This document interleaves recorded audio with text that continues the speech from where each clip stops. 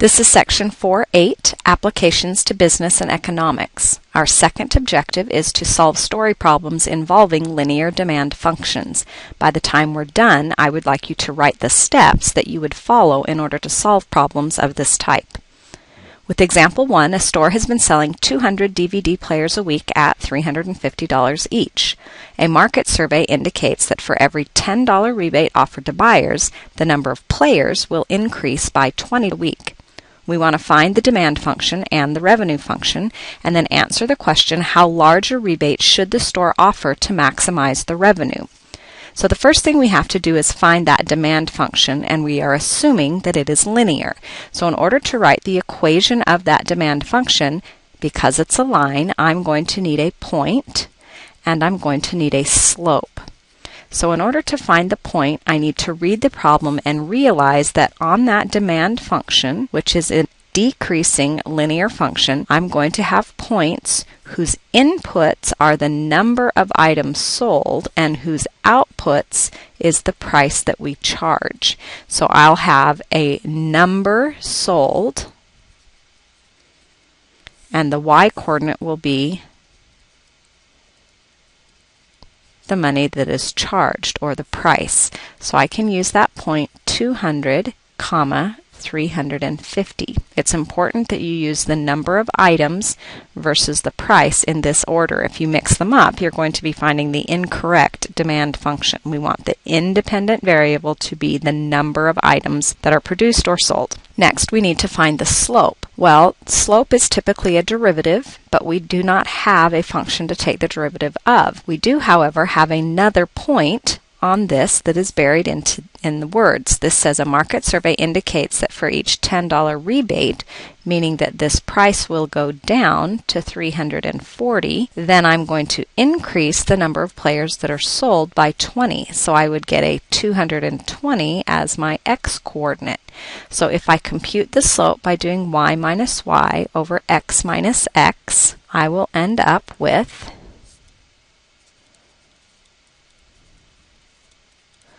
a negative 10 over 20 or a negative 1 half.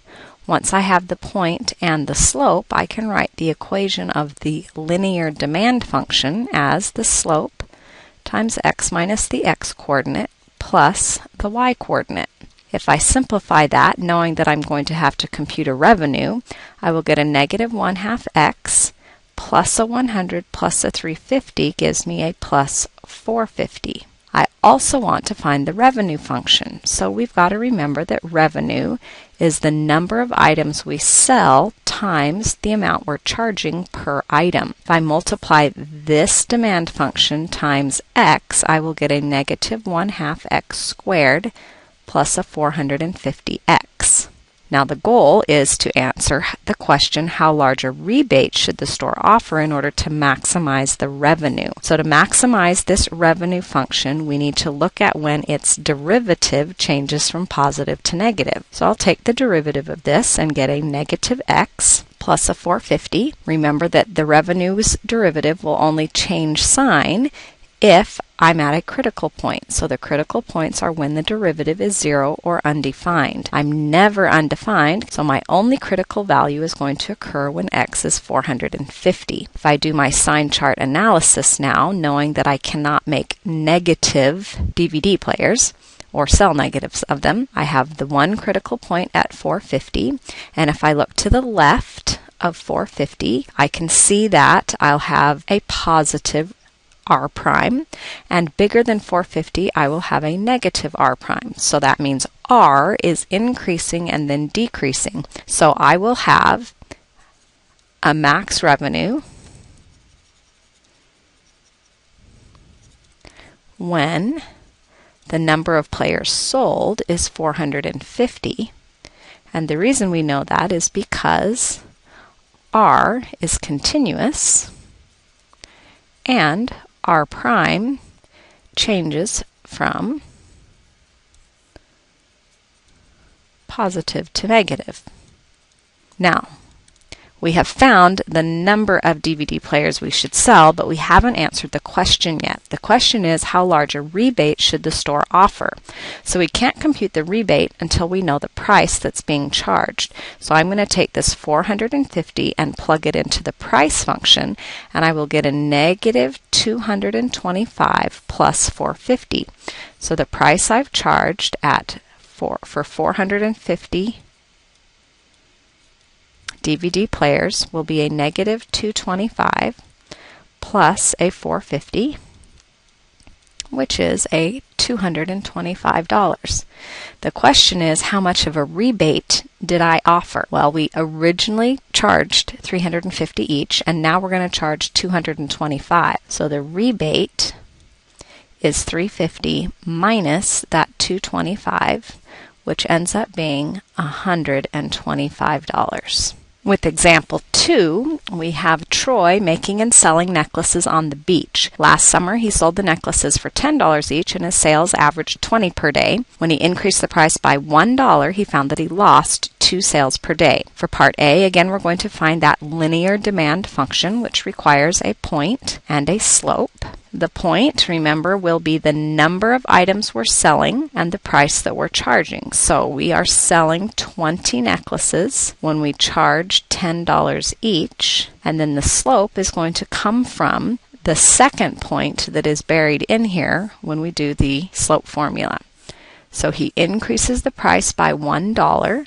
That means he'd charge $11 and he's going to lose two sales per day. So he'll only make 18 sales. The slope will now be y minus y, which is 1, over x minus x, which is negative 2. Once we have the point and the slope, we can write the equation of that linear demand function and get a negative 1 half times x minus 20 plus 10. Looking ahead, I know I'm going to have to use this demand function and take its derivative. So to make that easier on myself, I'm going to multiply this out. So I'll get a negative 1 half x plus 10 plus 10 gives me a plus 20. With part B now, we want to maximize the profit. So we have to remember that the profit is the money that comes in minus the cost.